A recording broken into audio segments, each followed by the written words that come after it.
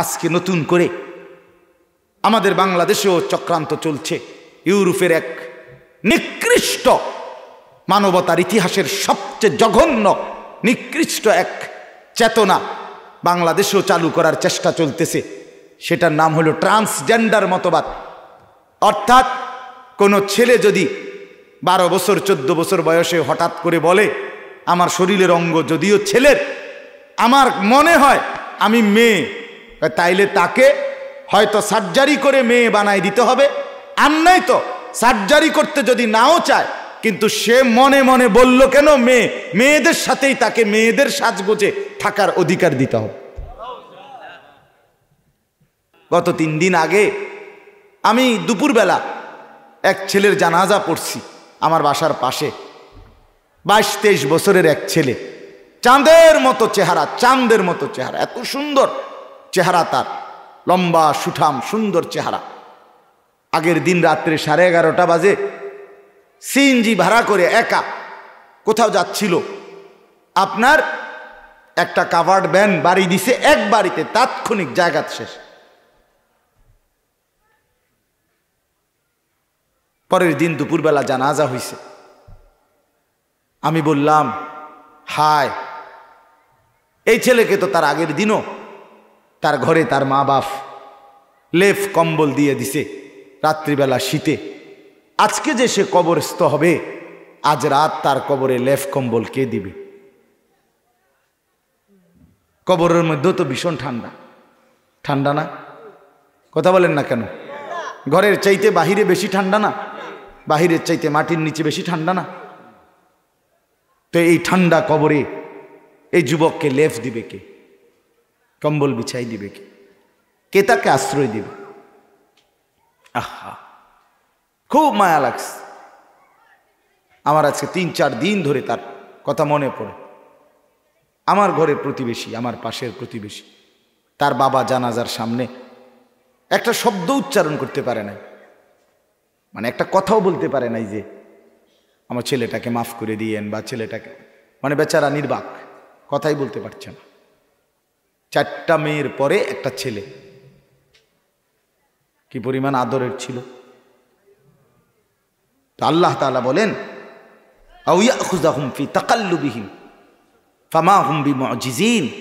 আমার বান্দা আমি চলন্ত অবস্থায় ধ্বংস করতে পারি, শেষ করে দিতে পারি। এরপরে আলা আমি আল্লাহ তালা ধীরে ধীরে তানাক্কুস, তোমার অর্থ, সম্পদ শক্তি, যৌবন, নেতৃত্ব, কর্তৃত্ব, বংশের বাহাদুরি, যাই ছিল তোমার, সব কিছু ধীরে ধীরে কমাইয়া কমাইয়া একটা সময় নিশ্চিন্ন করে দিতে পারি। এমনও তো কত ফ্যামিলি আছে, যেই ফ্যামিলি একসময় জমিদার ছিল, টাকাওয়ালা, ক্ষমতাওয়ালা। আজকে সত্তর বছর পরে ৩০ বছর পরে, পঞ্চাশ বছর পরে তাদের কোনো নাম নিশানাও নাই। তাদের বংশধর অভাব আর দারিদ্রতার মধ্যেই পড়ে আছে এমন কি একটা দুইটা।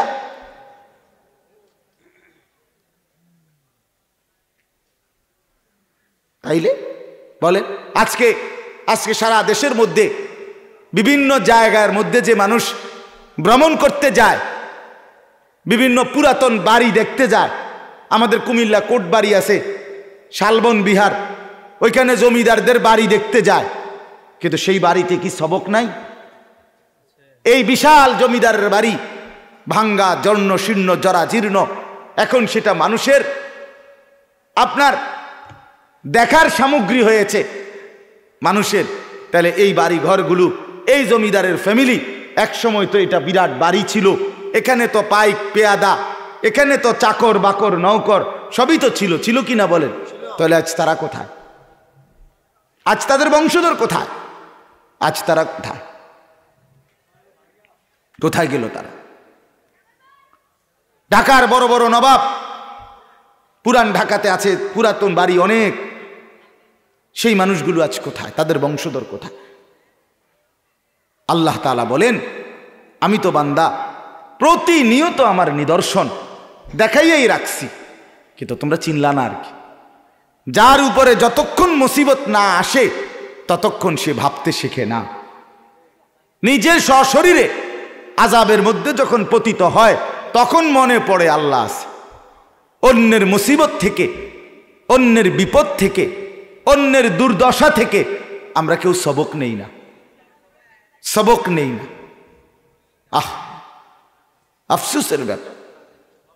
আমরা লাশ দেখেও, জানাজা দেখেও, জানাজার মাঠেও, লাশের সামনেও অসংখ্য মানুষ ছবি তুলতে থাকে। তার মানে তার অসভ্যতা গেল না।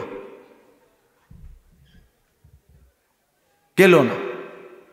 এই জন্য বাপ, আল্লাহ তালা কোরআনুল করিমের মধ্যে বহুভাবে কথা এটা বলছে। বান্দা, আওয়ালাম ইয়ালাম আন্নাল্লাহ কাদ আহলাকা মিন কাবলিহি মিনাল করুন, মান হুয়া আসাদ্দু মিনহু কৌয়াতাম ওয়া আকসারু জামা আল্লাহ বলে, বান্দা, তোমরা কি জানো? আমি আল্লাহ তোমাদের পূর্বে অসংখ্য জাতি গোষ্ঠীকে, যাদের শক্তিও ছিল অনেক, যাদের সম্পদও ছিল অনেক, আমি শক্তিতে এবং সম্পদে অনেক, এমন অসংখ্য জাতিকে আমি আল্লাহ আহলাকা ধ্বংস করে দিয়েছি। ধ্বংস করে দিয়েছি। তোমরা বাড়াবাড়ি করো না, বান্দা। তোমরা সীমা লঙ্ঘন করো না। আমার ভাই, আমার বন্ধু, এই সমাজে যাদের মাধ্যমে গুনাহ ছড়ায়, অশ্লীলতা ছড়ায় বেহায়াপনা ছড়ায়। খোদার কসম, আল্লাহ তালা তাদের জন্য বড় ভয়ানক হুঁশিয়ারি দিছে। মনে এই আয়াতে আমি শুধু পড়ছি। কালকের এই দৃশ্য দেখে খুব আফসুস কর, মনে হইল, হায় বাংলাদেশ, কোথায় নেমে গেল? হায় ঢাকা, সারা জীবন ছোটবেলায় পড়ছি মসজিদের নগরী। ঢাকাকে তো মসজিদের নগরী বলে। ঢাকায় অগণিত মসজিদ। সেই মসজিদের নগরী। এখানে এই পরিমাণ বাজি ফুটলো কেন? এখানে এই পরিমাণ আতসবাজি ফুটলো কেন? এখানে এই পরিমাণ অর্থের সময়ের নিদারুণ অপচয় হলো কেন? আমাদের প্রজন্ম কোথায় গিয়ে দাঁড়াচ্ছে? এই আয়াতটা আপনাদেরকে পড়েছি। এটা বললেই আমার কথা শেষ। কোরআনুল করিমের আঠারো নম্বর পাড়া কোরআনুল করিমের চব্বিশ নম্বর সুরা। এই সুরার নাম হচ্ছে সুরাই নূর। এই সুরার দুইটা আয়াত ১৯ নাম্বার ২০ নাম্বার। এই দুইটি আয়াত আমি পড়েছি। একটু মনোযোগ দিয়ে শুনেন, তাইলে আমার কথা শেষ। ছেলে সবাই একসাথে শুনবে না। সবাই একসাথে বুঝবে না। বাকি আমরা বলেই যাব বাপ কেউ না শুনুক। সবাই প্রত্যাখ্যান করুক। এতে আমাদের কোনো লস নাই। আমি আজ আঠারো বছর আঠারো বছর আপনাদের কাছে আসা দেওয়া করি। কোনো লস নাই। কোনো লস নেই। আঠারো বছরে যদি একজনও পরিবর্তন না হয়, আমার বলার দ্বারা কোনো লস নেই। কারণ আমার বলার দ্বারা আমি যা চাই, আখেরাতের মুক্তি, পরকালের নেকি, এটা আপনাদের কারও হাতে না, এটা আল্লাহর হাতে। আর আল্লাহ তালা বলেন, সেটা আমি দিতেই থাকব। সেটা তো আপনাদের কারও হাতে না।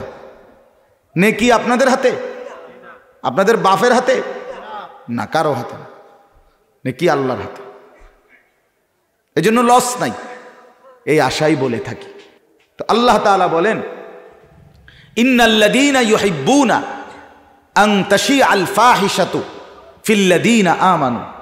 নিশ্চয়ই যারা পছন্দ করে, নিশ্চয়ই যারা আয়োজন করে, নিশ্চয়ই যারা আকাঙ্ক্ষা করে আংতাসি আলফা হিসাতু ছড়িয়ে পড়ুক অশ্লীলতা, বেহায়াপনা, নির্লজ্জতা, অসভ্যতা, নোংরামি, ফিল্লাদিনা আমানু, মুসলমানের সমাজে, ইমানদারদের পরিবেশে, আল্লাহ বলে, যারা চায়, মুসলমানের সমাজ পাড়া মহল্লায়, এলাকায়, জনপদে, মুসলিম জনবসতিতে বেহায়াপনা ছড়িয়ে পড়ুক, নগ্নতা ছড়িয়ে পড়ুক, অসভ্যতা ছড়িয়ে পড়ুক, গান, বাদ্য, জিনা, ব্যবিচার, নারীর নৃত্য, অসভ্য নোংরামি ছড়িয়ে যাক, আল্লাহ বলেন, লাহুম আজাবুন আলিম, তাদের জন্য রয়েছে, আমি আল্লাহর পক্ষ থেকে যন্ত্রণাদায়ক আজাব যন্ত্রণাদায়ক আজাব কোথায়? ফিদ দুনিয়া ফিদ দুনিয়া, দুনিয়াতেও, ওয়াল আখেরা, আখেরাতে। আখেরাত। এটা হইল ভয়ঙ্কর কথা। এক তো যদি এটা বলতো, আখেরাতে শুধু শাস্তি, তাহলে তুমি কইতে আচ্ছা যা খেসুমে জিরে হইব হইব। অহংকার হইতেছে না কিছু। কিন্তু আল্লাহ তো বলে, এখনও হবে। ফির দুনিয়া, এই যে সরাসরি সুরানের শব্দ, একেবারে ডাইরেক্ট কোরআনের আয় ফির দুনিয়া। আমি আল্লাহ অশ্লীলতার প্রচার করে যারা, অশ্লীলতার প্রসার করে যারা, যে ছেলের দ্বারা সমাজে নোংরামি ছড়ায়, যেই বেপর্দা মেয়ে নারীর দ্বারা সমাজে নোংরামি ছড়ায়, যুবকের চরিত্র নষ্ট হয়, যুবতীর চরিত্র নষ্ট হয়, যে বন্ধুর কারণে আরেক বন্ধুর চরিত্র নষ্ট হয়, আল্লাহ তালা বলেন, তাদের জন্য দুনিয়াতেও রয়েছে কঠোর শাস্তি, আখেরাতেও রয়েছে। আলামুন কিন্তু কার শাস্তি কেমন? কাকে আমি কীরকম আজাব দেব, সেটা আমি শুধু জানি, তোমরা জানো সবার কোনো খার করায় সিরিয়ালে দশটা করে থাপ্পড় দিয়ে দেবো, বিষয়টা এমন না। সবাই একটা একটা জুতের বাড়ি দিয়ে দেবো, এটা এমন না। কার আজাব কেমন হবে? কাকে আমি কোন মুসিবতে ফেলব, সেটা শুধু আমিই জানি। তোমরা জানো না। তোমরা জানো, এই হলো প্রথম আয়া আমার বাফ তাইলে আপনারা খেয়াল করে দেখেন। গতকালকেও আমি স্পষ্ট বলেছি। তিনটা জিনিস এই গতকালকে যে বর্ষ শেষ হলো, একত্রিশে ডিসেম্বর, আজকে পহেলা জানুয়ারি। থার্টি ফার্স্ট নাইট উদযাপন করেছে। রাত বারোটার পরে গান বাদ্য নেচে গে আতসবাজি ফানুস উড়াইছে।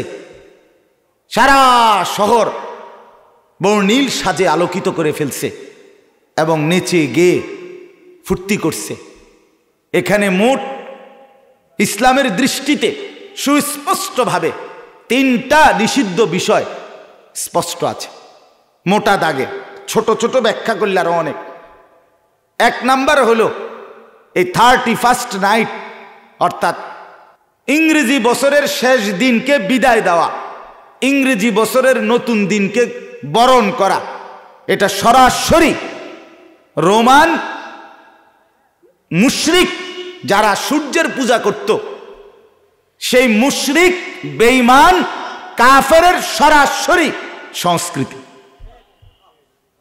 আপনারা অনেকে শুনছেন, হাদিস স্পষ্ট আছে নবী সাল্লাহ সাল্লামের এক সাহাবি একদিন আইসা, নবীজিকে বলছে, মাতা সা ইয়া রসুল আল্লাহ কেয়ামত কোন দিন?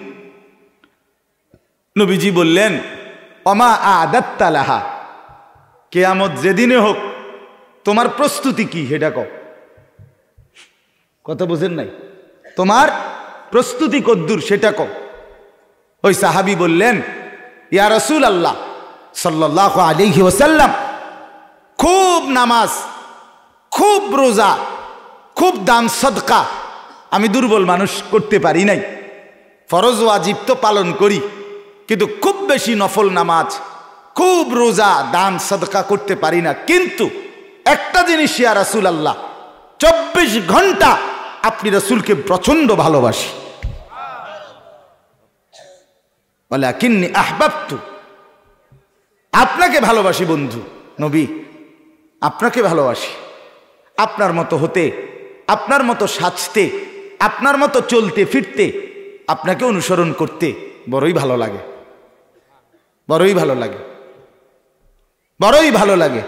খোদার কসম, রসুল বলছে, যাও, নিশ্চিন্তে যাও। আলমার উমা আমান আহাব্বা, মনে রাখবা হাসরের ময়দানে সে তার সাথেই হবে। তাকে সে যাকে ভালোবাসত যাকে ভালোবাসত দুনিয়ায় হাসরের ময়দানে সে তার সাথেই হবে। হজরতে আনাস বলে, ও মিয়া, শুনেন।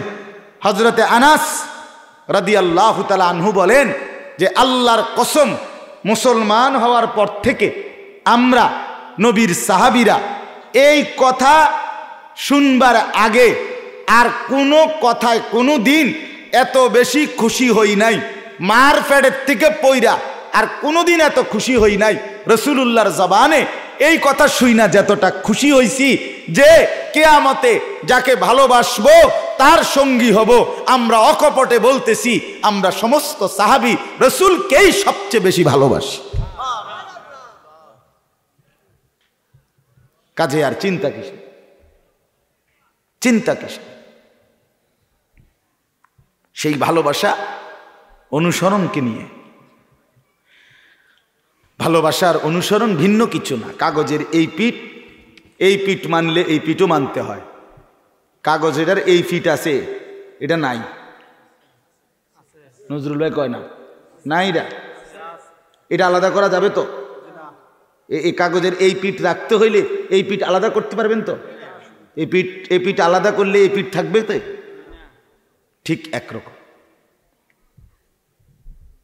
মহব্বত অনুসরণ কাগজের এই পিঠ যে ভালোবাসে, সে অনুসরণ করে। যে অনুসরণ করে, সে ভালোবাসে। ভালোবাসা অনুসরণকে দাবি করে। অনুসরণ ভালোবাসাকে প্রমাণ করে। ইন্নাল মুহিব্বালিমাই মুহিব্বু মতিয়াও যে যাকে ভালোবাসে, সে তার অন্তর্ভুক্ত। রসুল্লাহ সাল্লাহ সাল্লাম তাসাব্বু যে পুরুষ নারীর সাদৃশ্য অবলম্বন করে, নবী তাকে বলছে লানত। তার উপরের খোদার গজব, তোর উর্ফে আল্লাহর লানত। রসুল বলছে, আজকে নতুন করে আমাদের বাংলাদেশেও চক্রান্ত চলছে। ইউরোপের এক নিকৃষ্ট মানবতার ইতিহাসের সবচেয়ে জঘন্য, নিকৃষ্ট এক চেতনা বাংলাদেশেও চালু করার চেষ্টা চলতেছে। সেটার নাম হলো ট্রান্সজেন্ডার মতবাদ। অর্থাৎ কোনো ছেলে যদি বারো বছর, চোদ্দ বছর বয়সে হঠাৎ করে বলে, আমার শরীরের অঙ্গ যদিও ছেলের, আমার মনে হয় আমি মেয়ে। তাইলে তাকে হয়তো সার্জারি করে মেয়ে বানাই দিতে হবে। আর নাই তো সার্জারি করতে যদি নাও চায়, কিন্তু সে মনে মনে বলল কেন মেয়ে? মেয়েদের সাথেই তাকে মেয়েদের সাজগোজে থাকার অধিকার দিতে হবে।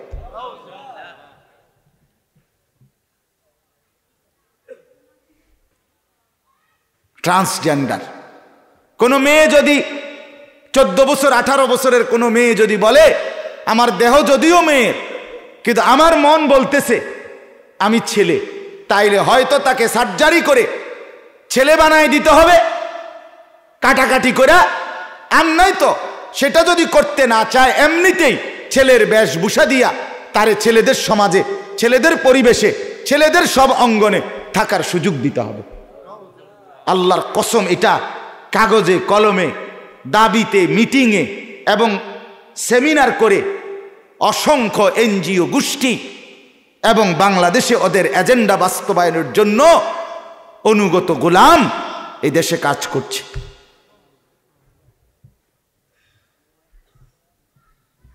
মুরব্বীরা গোবম এটি এরকম কথা তো শুনছি না। আরও কত কিছু শুনছেন না আপনারা? আপনাদের ছেলেদের মোবাইলে ওরা কি গুণা করে? আপনি জানেন তো না। আপনি কল্পনাও করতেন না। আপনারে বুঝাইতে হইল, আমার একজনে কইছিল, আমার এক মুসল্লি আমার একদিন কইছিল কহজুর আমি আজ থেকে চল্লিশ বছর আগে, আটত্রিশ বছর আগে বিদেশ গেছি, চল্লিশ বছর হইব, চল্লিশ, বিয়াল্লিশ বছর আগে। তখন সে বলছিল এই বিয়াল্লিশ, চল্লিশ বছর আগে যখন বিদেশ মধ্যপ্রাচ্যের এক দেশে, আরব দেশে আমরা দুইজন দুইজন দুজন করে মালিকে। আমগো বাংলাদেশি করে থাকতে দিছে এক রুমে। তো মাস শেষে যখন বেতন দিছে দুজনের একটা রুমে, এই দুইজনের মধ্যে একজন ওইতের বেতনের টাকা কিছু চুরি করে লেছে তো এখন এই যার টাকা চুরি করছে, সে ওই আরবি মালিকরে। আর আগের কথা, এখন অনেক সালাক। আগের কথা বলতেছি। তো কয়, আরবি মালিকরে সে বলছে, এ আমার রুমমেট আমার টাকা নিছে গা। কথা বুঝছে? তো উনি বলতেছে কহজুর কসম ক ওই আরবি মালিকরে এক টানা দুই মাস এইতে কথাটা বুঝাইতে চেষ্টা করছে যে এইতে আমার টাকা নিছে গা। হেইতে কথাটাই বোঝে না। হেইতে কয় না, আমি তো তার বেতন দিছি, তে তোর টাকা নিবে কেন? মানে এই যে টাকা নিতে রে বেতন নেওয়ানোর পরেও এ কথাটাই হেতের মাথার ঢোকে না। কয়, পারলই না বেড়ারে এই কথাটা বুঝাইতো। যে কি রে হে চুরি করব কি লেগা? এর তো কি দিছি? এই কথাটাই বুঝে কয়, উনি নিজে আমার আমার সরাসরি বলছে, হুজুর, আমি নিজে ছিলাম, কয়, হুজুর, হে মালিক, বুঝলই না এই কথাটা। না এটা হইব কেন? হে হে চুরি করবে কি লাগে? তুই কি কস বেড়া তারা তো কি দিছি? না মানে কথাটা বুঝছেন হ্যাঁ তো এটা বুঝতেই আছে না। আমগো সাসারা বুঝতই না এখন। ছেলেদের গুণা বললে বুঝতই। প্রথম যে সময় আমারও কইছে যে, হুজুর, এমনি সাইয়া সাইয়া কথা কম যায় মোবাইলে। আরও আগের কথা কইতিস। আমি উদর বেটা, বেকুব বেটা। কি কস না কস বেটা। কা না হুজুর, সৌদি আরবে বেটা, আত্মীয় স্বজনের লগে ডাইরেক্ট সাইয়া সাইয়া কথা কর সেটা এখন কি পরিমাণ সহজ? সেটা এখন কি পরিমাণ সহজ না? এই জন্য অশ্লীলতা মারাত্মক পর্যায়ে দাঁড়াইছে। মারাত্মক পর্যায়ে। অসভ্যতা মারাত্মক পর্যায়ে দাঁড়াইছে। সিরিয়াস পর্যায়ে গেছে। ট্রান্সজেন্ডার এখন বুদ্ধিজীবীরা, উপস্থিত সদস্যদেরকে আমি কিছুদিন আগে এক সেমিনারের বক্তব্য শুনছি, সেখানে একজন বিখ্যাত ব্যক্তি বলছে কথাটা বক্তব্যে, এখানে নারী, পুরুষ, তৃতীয় লিঙ্গ এবং ট্রান্সজেন্ডার যারাই আছেন, সবাই আমাদের আপন। তা এই শব্দ তো নতুন। বক্তব্যের মধ্যেও, সম্ভাষণের মধ্যে এই কথা নতুন করে বলতে হলো কেন? এটা তো বাংলাদেশে আগে ছিল না। এই নোংরামির কোনো সীমা আছে? পরিষ্কার, বুদ্ধিজীবী। এই বাংলাদেশে মতামত ব্যক্ত করছে যে শিশুদের কোনো ছেলে মেয়ে নাই। শিশু শুধুই শিশু। শিশুকে ছেলে বা মেয়ে আলাদা বলা, এটা শিশুর অধিকার খর্ব করা। আপনার যেই কোনো, এটা ভাই আল্লাহ দোহাই, এটা রাজনীতি না। আমি রাজনীতির মানুষও না। আগামী প্রজন্মকে বাঁচানো, এটা। বাংলাদেশ না আন্তর্জাতিক আইনে, বাংলাদেশের আইনও আঠারো বছরের নিচে সব শিশু। কি বলেন, শিশু কিনা? ডাক্তার বলেন, শিশু কিনা? তাহলে আঠারো বছরের নিচে যদি শিশু হয়, তাইলে আপনার বারো বছর ১৩ বছর, চোদ্দ বছরের ছেলে মেয়ের মধ্যে আলাদা কিছু নাই, সব শিশু। সব শিশু, তার মানে কি? ছেলে, মেয়ে, বারো, চোদ্দ বছরের ১৩ বছরের, যার যেখানে মন চায় হাঁটবে, থাকবে, চলবে, খাবে, একই বাথরুমে যাবে, আসবে, একই কমন রুম ব্যবহার করবে কারণ এরা না শিশু? এখানে আলাদা তো কোনো ছেলে মেয়ের বিভাজন করলে শিশুর অধিকার কোমল মনে আঘাত দেওয়া। হে তো হেসে খেলে পড়বে, হে তো ললিপপ খাইতে খাইতে শিখবে, হে তো চিপস খাইতে খাইতে পড়বে, তাকে সারাক্ষণ এক হাতে চিপস আর এক হাতে পড়ালেখা রাখতে হবে। চিপস হেসে খেলে, সে হেসবে, সে খেলবে। এই তামাশা। এই জন্য আমি আপনাদের কাছে অনুরোধ করছি, ছেলেরা, বাপ, তোমাদেরকেও বলছি, তোমাদের জীবন শেষ না। আমার নৌজওয়ান ছেলেরা, তোমরাই পৃথিবীতে শেষ না। এমন না বিষয়টা যে তোমাদেরকে দিয়েই কেয়ামত। আল্লাহ চাহে তো আগামী ২০ বছর পরে, আজকের আঠারো বছরের ছেলেটা, আগামী ২০ বছর পরে আল্লাহ চাহে তো ইনশাআল্লাহ তোমার বয়স আটত্রিশ হবে, চল্লিশ হবে। তো আল্লাহ দিলে তোমারও হায়াতে বাঁচলে, বিবাহ হবে, তোমারও সন্তান আসবে। আল্লাহ দিলে, আজ আমার বিয়াল্লিশ বছর বয়স, আমার চারটা সন্তান আছে। তাইলে আগামী সময়ে তোমরা ভাইয়া যদি চরিত্রহীনতার এই লাভে পড়ে থাকো, এক ওয়াক্ত নামাজ পড়তে যদি মন না চায়, সারা দিন রাত যদি মোবাইলে উলঙ্গ ছবি দেখতেই মন চায় তাহলে আগামী প্রজন্ম তোমার হাতে যে সন্তান আসবে, সে কি করবে? বলো ভাই, সে কি করবে? সে কি করবে? অতএব দয়া করে এটা আমার প্রতিদিনকার কথা। কিন্তু এখানে বিশেষভাবে বলতেছিলাম যে থার্টি ফার্স্ট নাইটের কথা বলতে গিয়ে বলছিলাম। আপনারা জানেন না, আপনাদের গ্রামে আপনারা হয়তো টের পান নাই, কিন্তু প্রতিটা শহর উপজেলা প্রফারে অসভ্যতার ছড়াছড়ি ছিল।